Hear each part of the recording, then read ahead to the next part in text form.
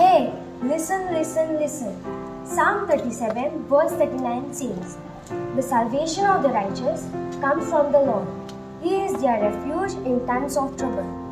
Dear friends, God is not only strong, but He is also righteous, and both of these give Him the power to act as a refuge when His followers need support. Amen.